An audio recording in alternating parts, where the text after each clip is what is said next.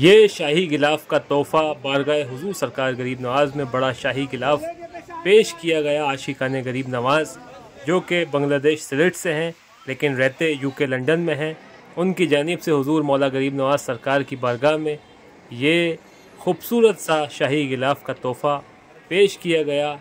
ये हुजूर सरकार गरीब नवाज़ की बारगाह के अंदर सबसे बड़ा गिलाफ का तोहफ़ा होता है, जो 42 मीटर स्क्वायर्स के अंदर पेश किया जाता है, जो कि मज़ार अकदस हुजूर सरकार गरीब नवाज़ के मज़ार मुबारक के नाप का गिलाफ है।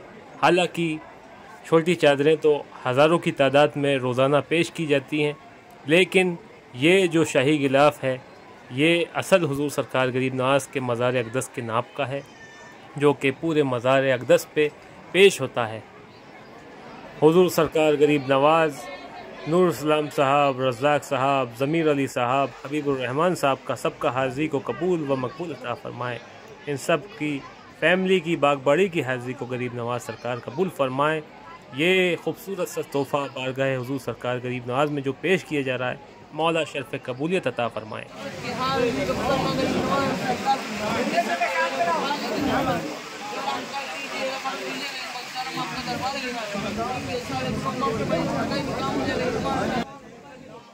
ये हुजूर मौला गरीब नवाज़ सरकार की बारगाह के अंदर शाही गिलाफ का तोहफ़ा पेश किया जा रहा है ज़मीर अली साहब की तरफ़ से, जो कि यूके लंदन से हैं, आशिकान गरीब नवाज़। ये मज़ार अकदस का असल नाप का गिलाफ है, जो पूरे मज़ार अकदस के ऊपर पेश हो जाता है। शाही गिलाफ कहा जाता है इसको। ये हैवी एम्ब्रॉयडरी के अंदर होता है। इसका वज़न लगभग 50 केजी होता है।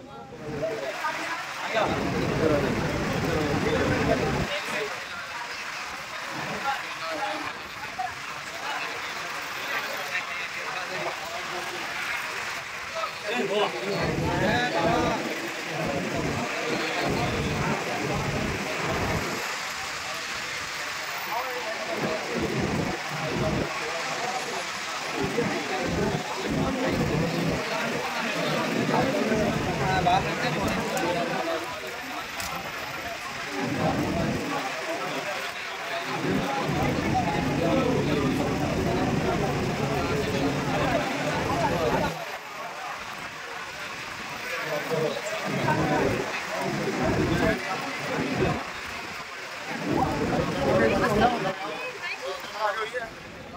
गिलाफ पेश करने के बाद हजूर सरकार गरीब नवाज़ की नस्बत से गरीब नवाज़ सरकार की बारगाह में मस करके ये दस्तार, दरबारी दस्तार बांधी जाती है।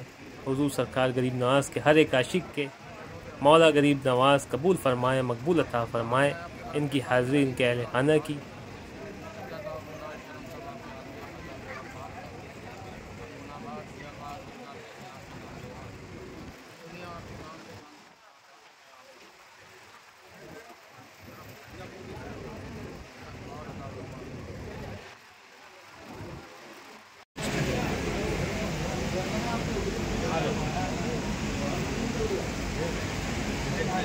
पीछे खड़े ऊपर नहीं खड़े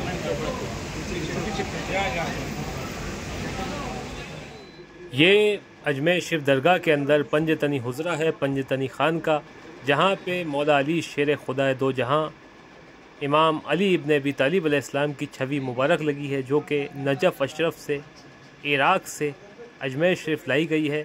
ये चौदह सौ साल पहले की छवि है। इमाम अली मकाम के वक्त में बनाई गई। जो कि हुजूर सरकार गरीब नवाज़ की बारगाह में पंजतनी हजरे के अंदर लगी है। तमाम आशिकीन, तमाम चाहने वाले, आने वाले यहाँ पर आकर ज़ैरत करते हैं इस छवि मुबारक की। ये छवि मौला अली शेर खुदा दो जहाँ के रोज़ा मुबारक से अजमेर शरीफ लाई गई है। सुबहान अल्लाह सुबहान अल्लाह।